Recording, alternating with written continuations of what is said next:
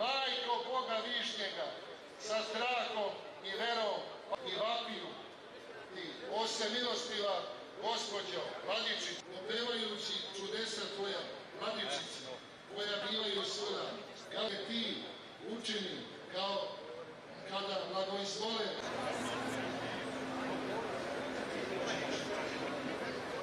i ujedinjeni za tradiciju i porodicu. Vaša